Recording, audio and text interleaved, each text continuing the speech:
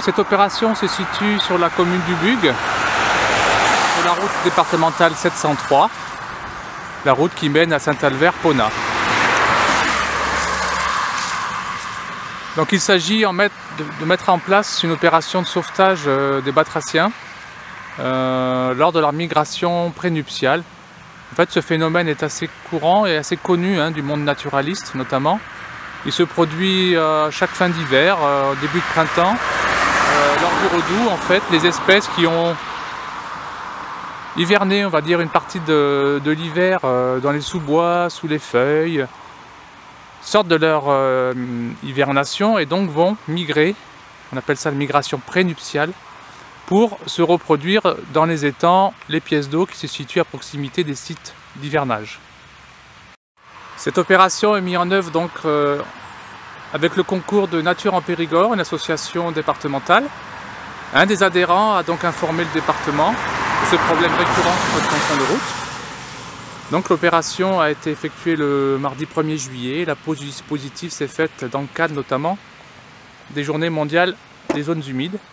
Une dizaine de personnes étaient présentes pour pouvoir mettre en place le dispositif et démarre depuis hier, donc mardi 2 février, eh le relevé des seaux qui euh, constitue la principale étape du protocole sur le site.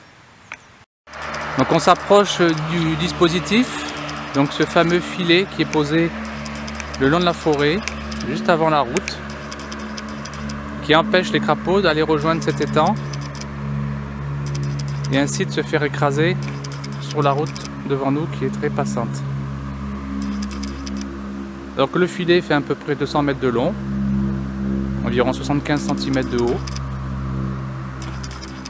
Il empêche donc les individus de traverser la route et ensuite de chaque côté, enfin de l'autre côté du, filet, se situent des seaux à peu près tous les 10, 12, 15 mètres, dans lesquels les crapauds ou les autres espèces vont tomber lors de leur migration nocturne. Là, on découvre dans ce seau deux individus en amplexus, comme on dit, et que je vais pouvoir sortir de là pour les mettre dans les temps.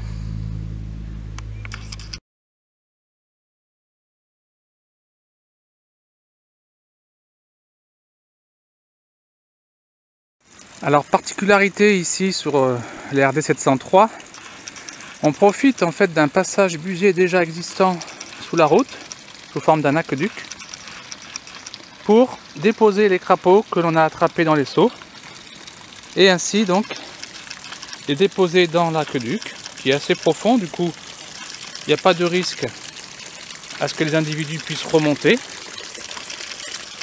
On les dépose là, et ensuite ils finissent leur course sous la route pour aller rejoindre l'étang.